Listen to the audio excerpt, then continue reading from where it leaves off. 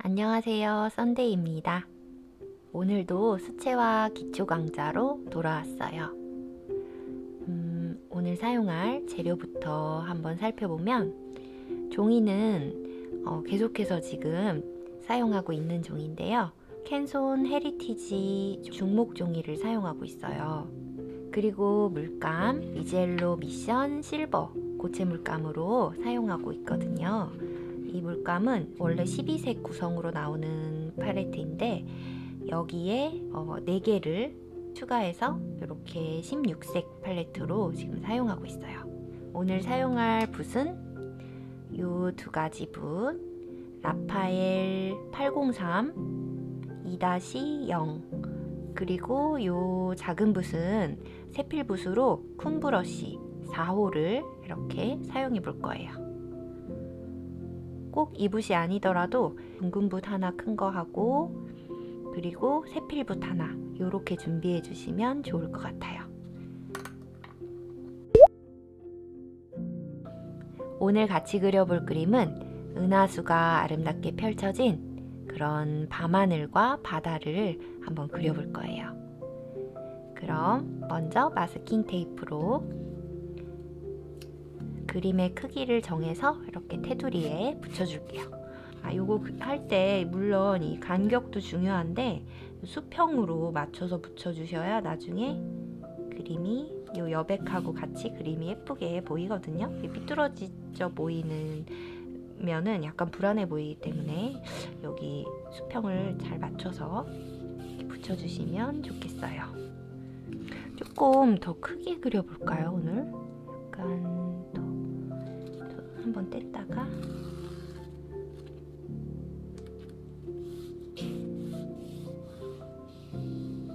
이 못브러시 요큰 붓으로 배경을 하늘 배경을 먼저 칠해볼 거예요.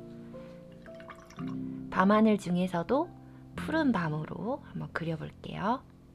음, 색깔은 위쪽에 좀 진한 파랑으로 칠하고 점점 내려오면서 이 아래쪽에만 살짝 어떤 여명이 조금 느껴지는 그런 느낌으로 밝게 이렇게 해서 그렇게 한번 톤 변화를 만들어 볼 거예요. 그러면 제일 위에 칠할 가장 진한 어, 좀 남색 그런 색을 한번 찾아볼게요. 음, 여러분들은 혹시 이제 더 많은 색으로 구성된 물감을 사용한다면 음, Prussian blue 그 정도 색을 사용해도 좋을 것 같아요. 아니면 Prussian blue도 조금 파란색에 가까운 편이거든요. 거기에 인디고를 살짝 섞어서 그렇게 사용해 주셔도 좋을 것 같아요. 저는 여기에 지금 cerulean blue하고 ultramarine blue 이렇게 두 개의 파란색만 있어서 여기에다가 black이나 뭐 이런 violet을 조금 섞어보면서 색을 만들어 보려고 해요. 예, 그리고 물도 충분히 섞어주고요. 여기에 black을 먼저 섞어보면 이렇게 바로 약간 인디고 색이 바로 나오죠? 너무 어두우려나 조금 더 파랗게 꼭 어둡지 않아도 되거든요. 저는 오늘은 약간 파란 색깔 밤을 한번 칠해보고 싶어요. 그래서 너무 어둡지 않게 파랑 쪽에 좀 가깝게 이렇게 색을 만들어 볼게요. 이 정도면 될것 같은데 근데 모자르지 않게 지금 만드는 게 중요하거든요. 공간이 굉장히 넓어서 이 위부터 한 이 정도까지 3분의 1 정도까지는 칠할 양을 만드는 게 지금 중요해요. 물을 좀 넉넉히 첨가해가지고 만들어주세요. 그러니까 물이 너무 없으면 붓자국들이 너무 많이 남을 수가 있거든요. 그래서 이렇게 물을 좀 넉넉히 해주시고요. 그럼 한번 칠해 볼게요.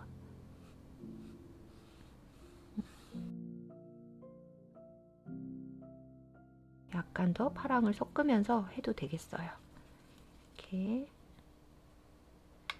근데 좀 너무 청색 느낌이 이제 싫다면 여기에 이 초록색, 녹색을 살짝 섞어주시면 또 이런 남색 느낌으로 도 바뀌거든요.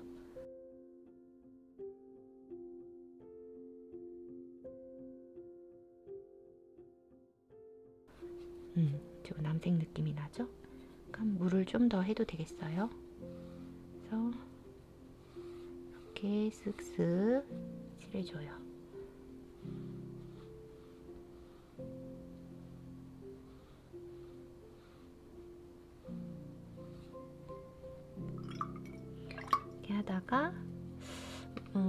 울트라마린하고 이 비리디안 요 녹색, 청록색을 섞어서 이 정도 색 만들고요.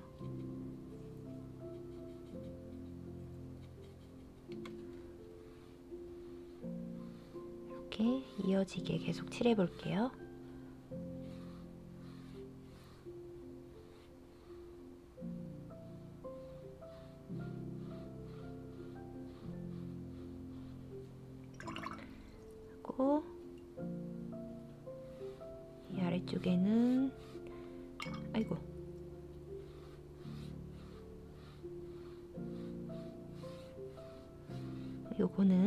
괜찮습니다.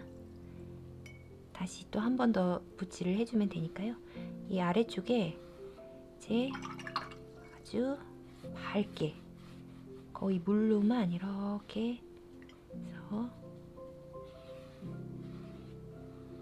이렇게 해놓고 어, 여긴 다시 칠할게요. 자국이 남지 않게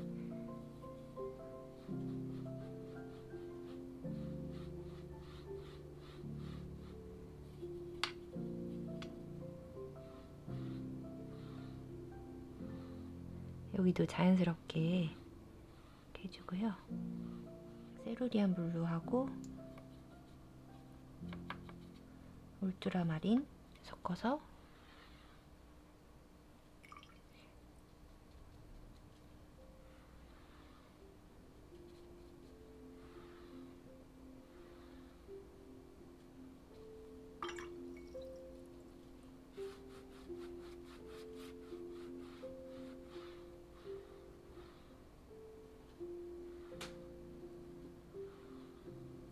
약간 이렇게 대각선으로 지금 이렇게 만들어주고 있어요. 이렇게 닦아내듯이 아래쪽에 이렇게 해주고요. 여기는 마르기 전에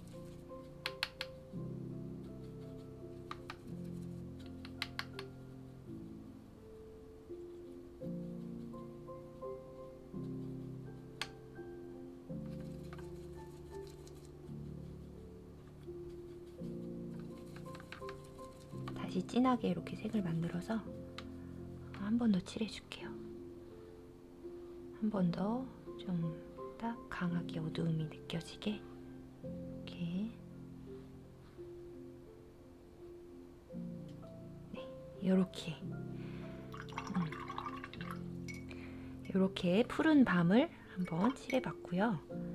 여기가 살짝 마르 완전히 마르기 전에 여기에 이제 은하수를 표현해 줄 건데 지금은 좀 많이 젖어 있으니까 여기 좀 마르는 동안 이 아래쪽 어, 이 여명 약간의 붉은빛을 살짝 넣어 주려고 해요. 이렇게 해서 아주 이렇게 지금 오렌지색을 사용했고요. 이렇게 번지게 지금 이, 이, 이 부분도 지금 아까 칠해 놓은 부분이 마르기 전에 이렇게 해주는 게 중요해요. 이렇게 하고 이 아래쪽은 이제 바다를 칠할 거기 때문에 지금 그냥 요 붓자국만 없어지게 그냥 물칠만 한번 해놓고요.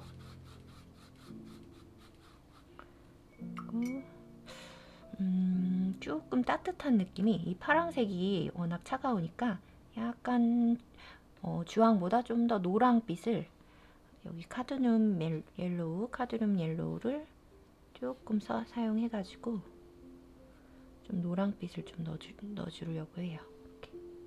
노랑빛을 넣어주면 좀 차가운 파랑하고 좀 어느 정도 밸런스를 좀 너무 차갑지 않게 그림을 이렇게 만들어 줄 수 있죠.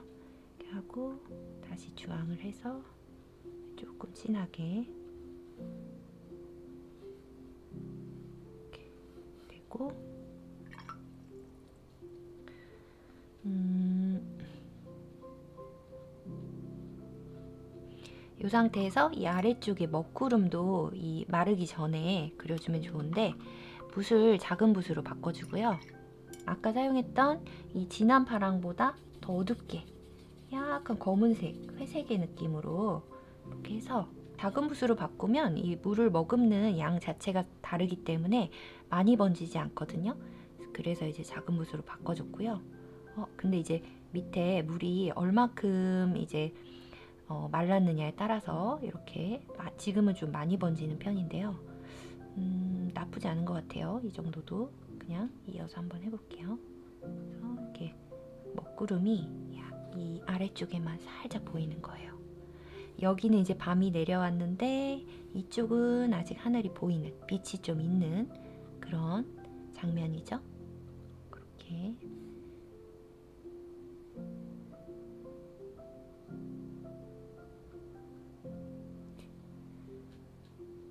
근데 조금 마른 다음에 해도 좋을 것 같은데요. 살짝만 이쪽은 좀 말린 다음에 해볼게요.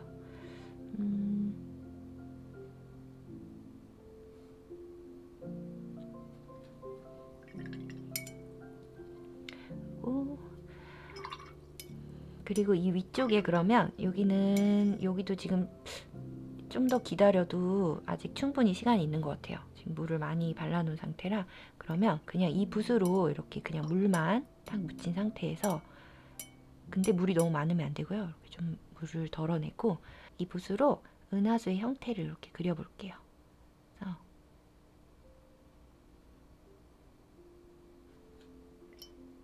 이렇게 기다리면 이제 이렇게 번져요. 근데 요거보다는 물이 좀 더 있어도 될 것 같아요. 좀 더 번져도 예쁠 것 같거든요. 지금 좀 물을 좀 많이 해서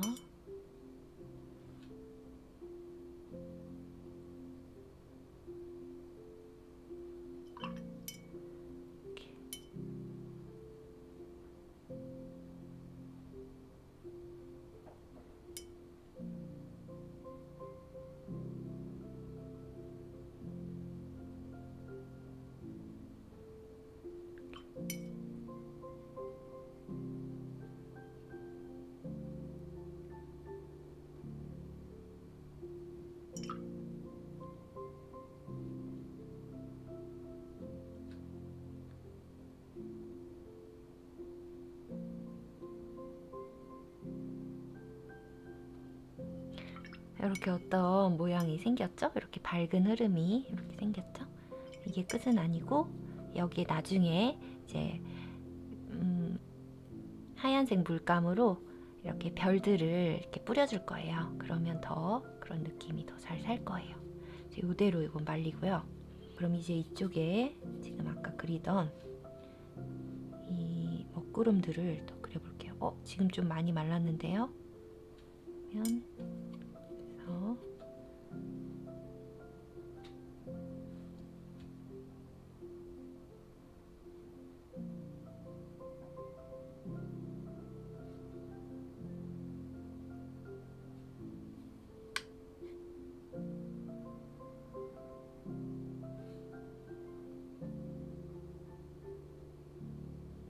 완전히 이 수평선 이 부분에 이렇게 구름들이 모여 있는 이런 느낌으로 이렇게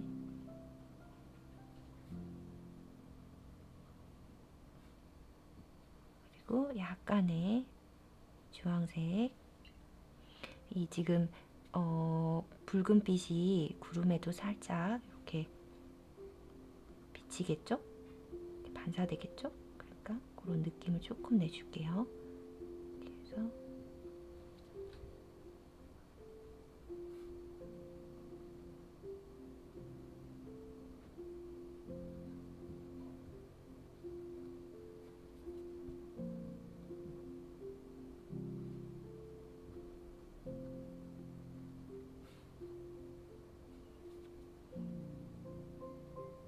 이렇게 아래쪽에. 아, 이 부분은 이제 좀 더 말려봐야 될것 같은데 생각보다 과하게 번진 것 같거든요. 음, 그래도 이것도 다 말린 뒤에 한번 잘 살려볼 수 있을 것 같아요. 그러면 이제 이 부분이 마르는 동안 이 아래쪽 바다 부분을 한번 그려볼게요. 음, 수평선을 설정을 일단 해주는데요. 한 이 정도의 넓을 필요는 없어요. 바다에 뭔가를 그리진 않을 거라서 지금 한 이렇게 수평선을 잘 그려주고요.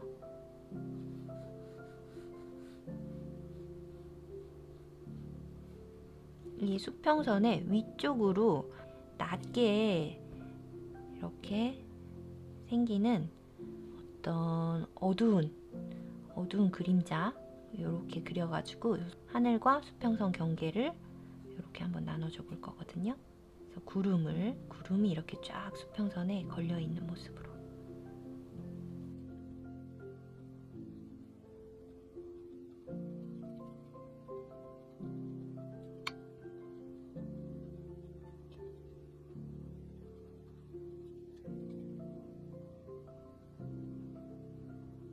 또 이렇게 해준 다음에 이 아래쪽에는 살짝 진한 색을 이렇게 한 번 더 칠해서 쓱 번지게 이렇게 해줄게요.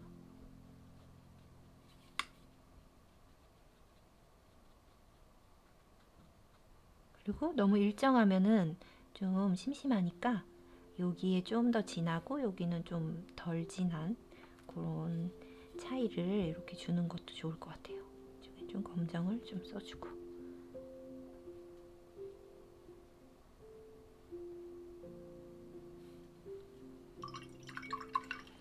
이렇게 해줬고요. 아래쪽에 이제 바다 부분은 약간 음, 위에가 파랑이니까 이쪽은 좀 회색 느낌으로 칠해도 좋을 것 같은데요. 그래서 약간 무채색 느낌으로 어, 지금 이 푸르, 파랑색에 이런 브라운, 갈색 계열을 섞어주면 이렇게 회색 느낌을 만들 수 있어요. 그렇죠? 검정을 섞었을 때보다 더 회색의 뿌연 느낌을 이렇게 낼 수가 있거든요.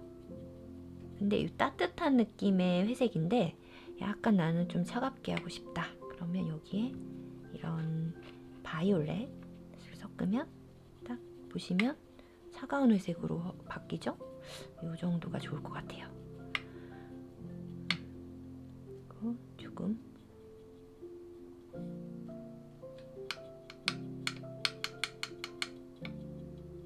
정도로 한번 칠해 볼게요. 음, 어울릴까? 음, 약간 보라를 조금 더 넣어서 보라에다가 요, 요 회색 살짝 섞어서 요 물을 좀 더 하고 거의 물이죠? 이런 물로 위쪽에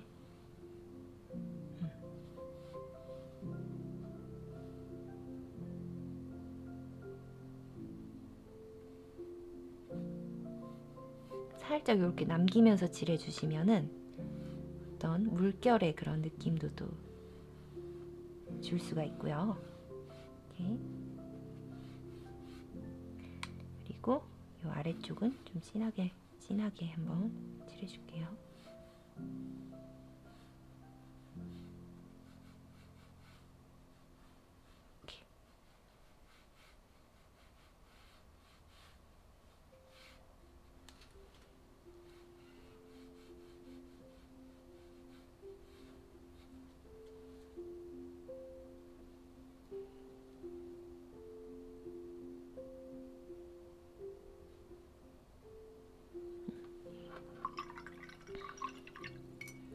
이렇게 은은한 색의 바다를 칠해봤어요.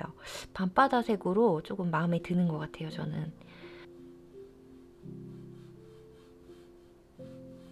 조금 덜 말랐을 때 약간 진한 색으로 물결을 조금 또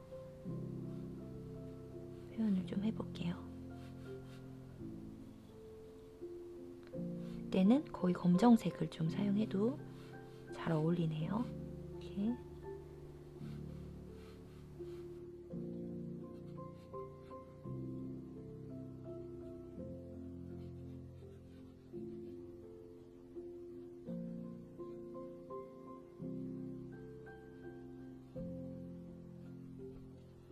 여기서 끝이 아니죠? 마지막 이제 가장 중요한 별을 뿌려주는 거 마지막으로 남았어요. 그래서 완전히 마르기 전에 지금 해도 괜찮을 것 같아요. 어느 부분은 좀 번지고 어느 부분은 안 번지고 해도 되게 자연스러울 것 같거든요. 이 화이트 물감을 사용해서 별을 표현해 줄게요. 어, 이왕이면 그냥 이 하얀색 이 자리에다 한번 이렇게 조금 덜어내고요. 이 작은 붓으로 근데 물감을 뿌리다 보면 원하는 대로 잘 안 되잖아요.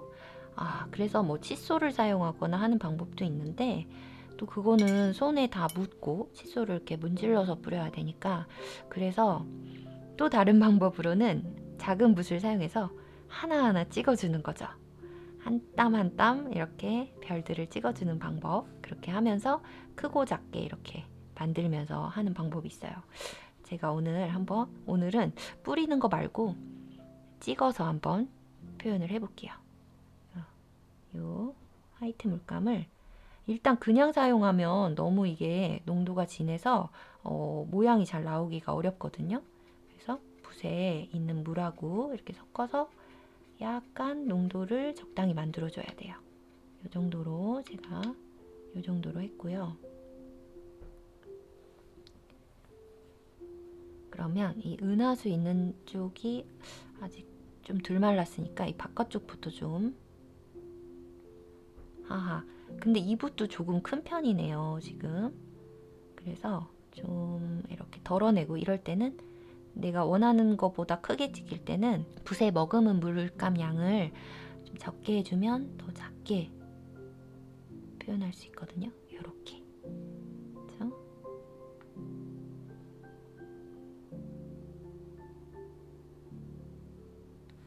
이런 식으로 한번 계속 해볼게요.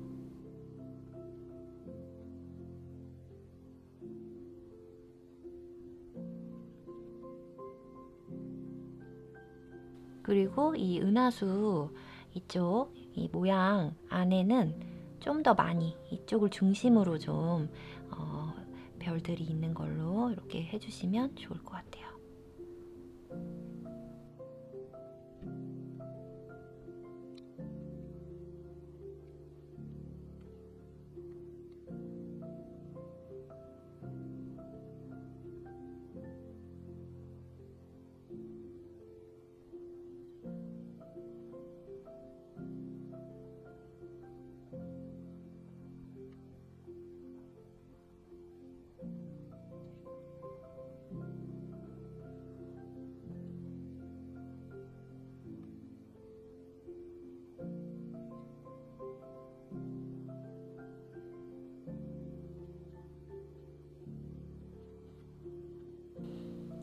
별을 좀 꽤 많이 찍었는데요. 한번 이제 이렇게 한번 쳐서 자연스러운 별들을 조금 더 이렇게 뿌려주면 이 무작위로 뿌려지기 때문에 한 땀 한 땀 손으로 찍는 거에 비해서 훨씬 자연스러운 건 있거든요. 그래서 지금 이렇게 작은 붓으로 하니까 아까 이제 붓끝으로 찍은 것보다 더 작은 작게 이렇게 점이 찍히거든요. 그리고 이 부분에만 좀더 집중적으로 이렇게 해줄게요.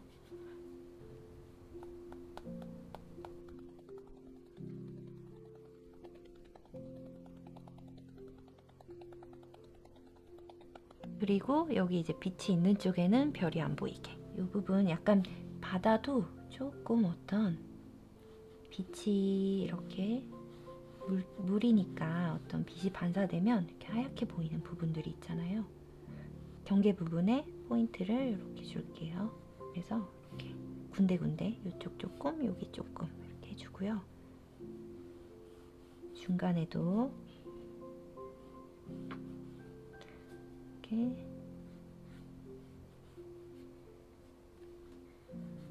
아주 잔잔한 밤의 밤바다 아주 잔잔한 밤바다로 이렇게 이렇게 그려봅니다.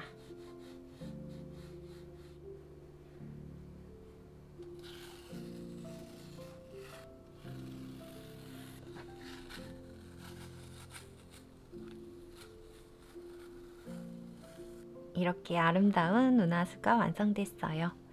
그러면 여러분들도 한번 즐겁게 그려보시고요. 저는 또 다음 영상으로 돌아올게요.